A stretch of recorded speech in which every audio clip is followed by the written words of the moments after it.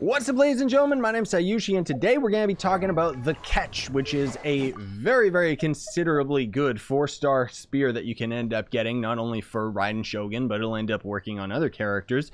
You can not only get the spear for free, but all of the refinements for free as well. The Ascension material for the Catcher is going to be the masks, which are available Wednesday and Saturday and Sunday at the Court of Flowing Sand right here. Chaos Gears, which is gotten from the new robotic enemies that you can find in Inazuma, as well as the Spectral Husk, which is a brand new resource since the latest update that is dropped from Specters exclusively. Specters are going to be these annoying dudes that you can end up finding on the Seirei Island as well as Watatsumi Island. So this is what the catch looks like at level 1 and this is what it looks like fully maxed out with max refinement. You can see that this is a pretty good spear just in general. The fact that the substat is energy recharge might put some people off of putting this onto their main DPS, but it is going to end up working extremely well with Raiden Shogun and can end up working with other polearm users as well. So I'm going to be giving you guys a basic rundown of everything you're going to need to know about fishing, but first and foremost, this is going to end up being the location of the Inazuma Angler. They're going to end up selling you the catch for 6 angelfish and 20 of each koi fish. And then the refinement material is going to cost you 3 angelfish and 10 pufferfish for each refinement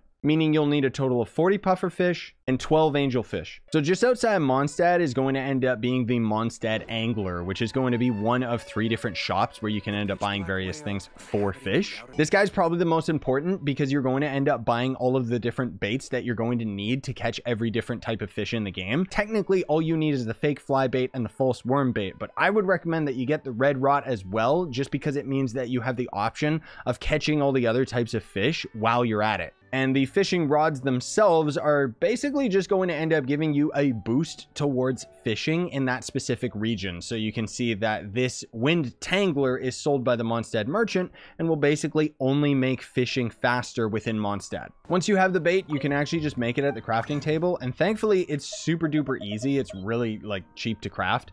And all you're really gonna need is the false worm bait for the angelfish, and then the fake fly bait, you're gonna need a lot of these for the koi fish as well as the puffer fish. The official Genshin interactive map can be really, really useful for this because you can actually scroll all the way down to the fishing section and you can end up just selecting the specific fish that you want. So let's actually just select the koi fish, the angelfish, and the puffer fish. And you can see right here that it's actually going to show you all of their locations. So while there's tons of different fishing locations all over the map, today we're focusing on the catch. So I'm just going to highlight the places you can find the koi fish, the puffer fish, and the angel fish. Starting with Mondstadt, there's a spot up here by Stormbearer Mountains. There's a fishing spot here outside of Mondstadt, as well as down here inside of Mondstadt, and just to the left of Dawn Winery. In Liyue, you can end up finding a fishing spot here, here left of Wangshu Inn, here at the Broken Bridge that's beside Wangshu Inn, one right here by this domain, and my least favorite is this one right outside of Liyue Harbor. Now moving on to Inazuma, you can find these fish at Ritou, Nazuchi Beach behind the broken ship,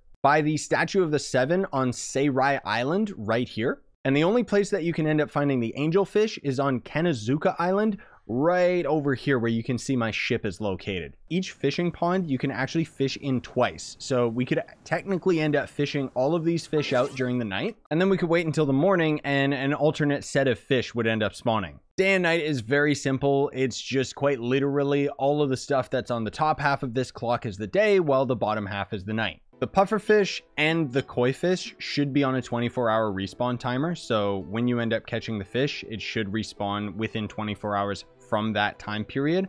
I say that it should because sometimes I've gone back to a fishing location and I haven't actually had the fish respawn, which is kind of weird. Certain fish, however, like the angel fish, will actually only spawn at night. And unfortunately, because these are considered a super rare fish, these guys will actually take three real life days to spawn rather than one. So there is actually a limited amount of fish that can spawn in a pond at one time, meaning that if you are at max capacity, you'll have to start fishing some of the fish that you don't necessarily want just to get some other fish to replace them, which could be the ones that you actually need. Now, as you're fishing, sometimes you'll notice that you've caught a four star fish. A four star fish is actually not a good thing because it basically means that you ended up catching a fish that is a prop item that goes in your Serenitea Pot rather than one you can use to buy the catch. So just at the end of the dock here at Liyue Harbor is going to end up being the Liyue Angler, which is obviously going to end up selling the fishing rod, but is also going to end up selling the Pool of Sapphire Grace, which is an item that you can end up placing in your Serenitea Pot,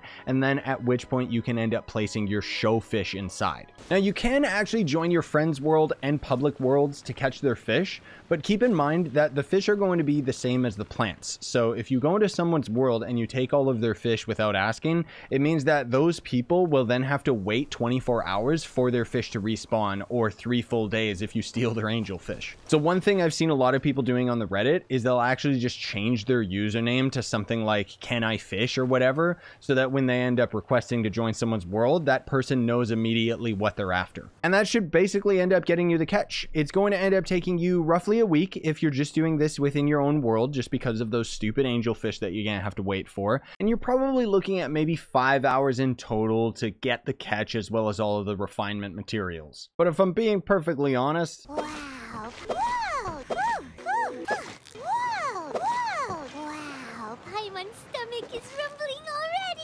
It's to feel more like 10 hours.